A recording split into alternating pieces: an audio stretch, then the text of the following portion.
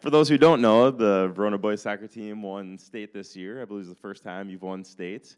So we did want to kind of recognize and congratulate you on your successful season and state championship and wish you many more years of success. And I know that we've got a number of the players here. Um, I believe Elliot, Sam, and Gannon were the captains of the team. And coach, as a coach Ernest or coach to, I don't know, or Tata, would you like to say something too? Thank you, Mayor, um, parents, and City of Fitchburg. Uh, we want to say a big thank you for this recognition.